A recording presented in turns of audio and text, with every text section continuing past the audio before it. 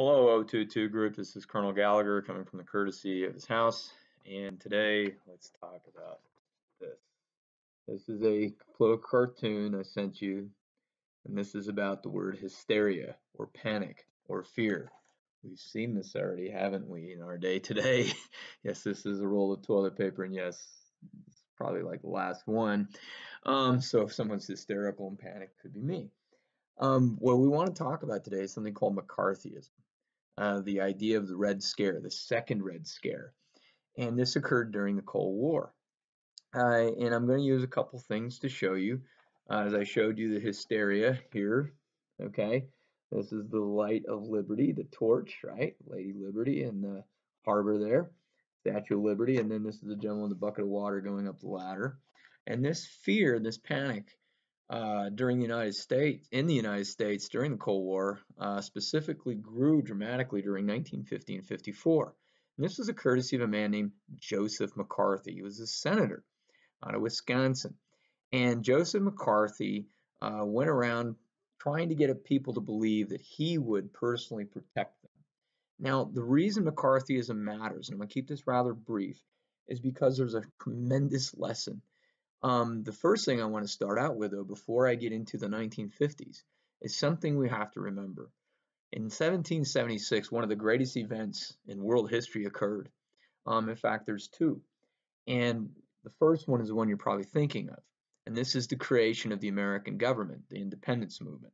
And so when the United States was born, it was born on the premise of certain constitutional and, and personal rights. And so these are known as our liberties. These are our freedoms. Uh, that is the first thing we have to look at. The second thing that happened in 1776 uh, was a book was written called Wealth of Nations by Adam Smith. And this is the proposed creation of the idea of a free enterprise system. Now, why start there? Because that's where the United States started. And the best thing, whenever you think of the 1950s and this communist revolution that was supposedly going on everywhere, and what I meant by that is that the Americans, McCarthy said there's communists all over the place and all these communists exist in your government. He created this sense of hysteria and this sense of panic. And on that fear, in this sense, he rode his way to popularity. People lined up behind him, but not a large majority. And why I started in 1776 is there was a gentleman who had a great quote and a great line, and he basically said this Freedom of speech is a pillar to the freedom of government.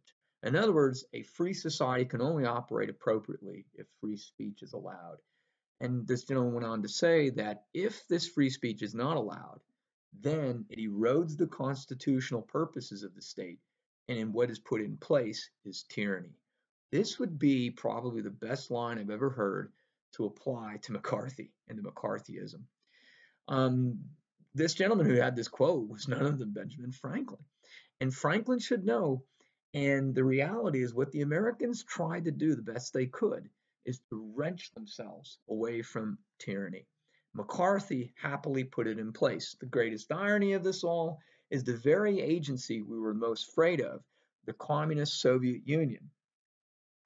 Remember I show you the playing card? That we saw them no different than what the Nazis have established in their tyranny. And so the Americans then, ironically, became more conformists and less about individuality. The liberties that we had based ourselves on were eroded. Because if you didn't agree with McCarthy, guess what happened? You ended up on his list. And he would call you out.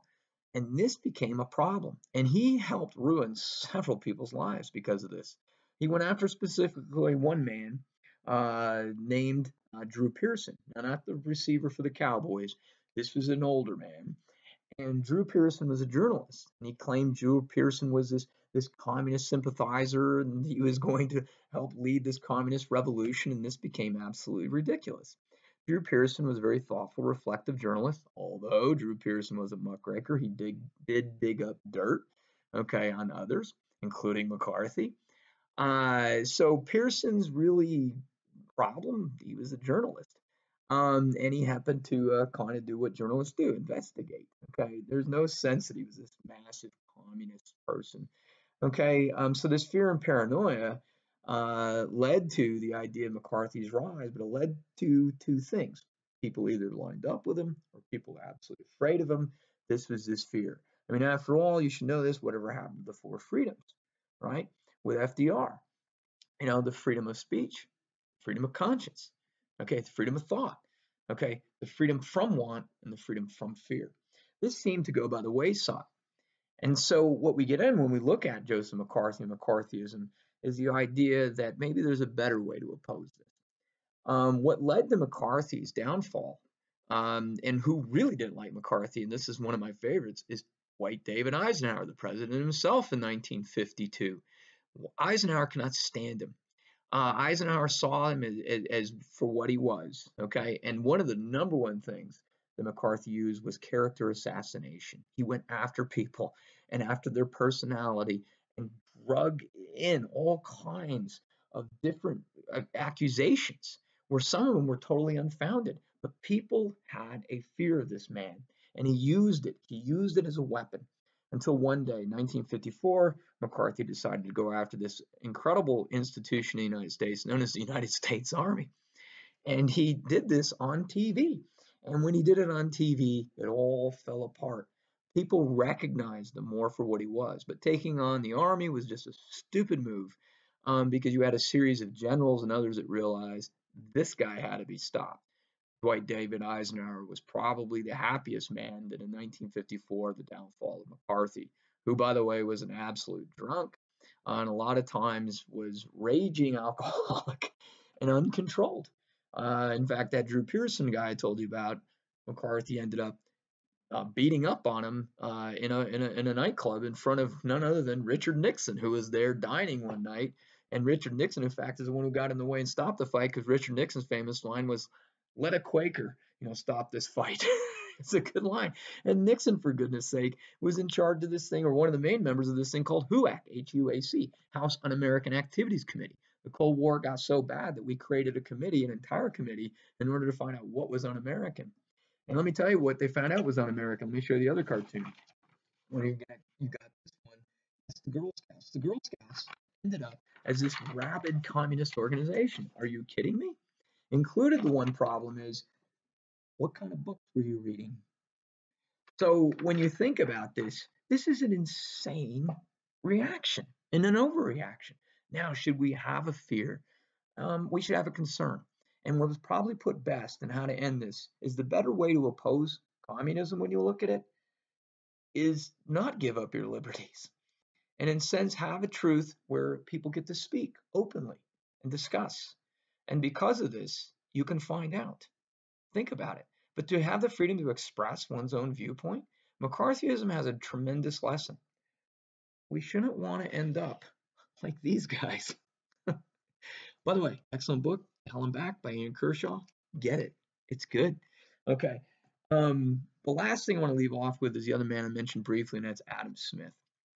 And Adam Smith in 1776 wrote The Wealth of Nations, and his line was just as appropriate here, where he said, Every man, as long as he does not violate the laws of justice, should be free to pursue their interests. It's about competition. And how in the world can you have competition with Joseph McCarthy? We've seen this before in history.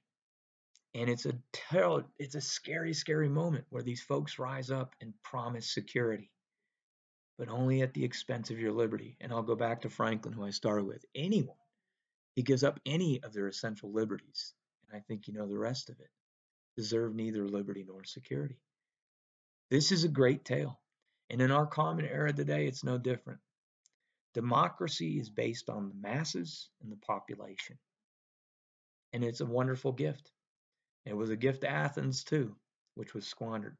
And those are the lessons of history, including there. so beware, okay? McCarthy's or not, think for yourself, okay? And you guys have a good day. Think of the Cold War, the irony that the Americans, in order to protect their liberties, became conformists, which was the opposite. And I know, being an MMI, isn't it fun? It's a contradiction, isn't it, sometimes? Because we're a military school, but, you know, hey. Okay, so it's a kind of interesting dynamic. Yet it's a good school, okay? And You guys know it. We try to bring our best to you. I hope from you the best to us, which you always do. Thank you. All right, I'll see you guys in class. Think on this for Monday's assignment. Bye-bye.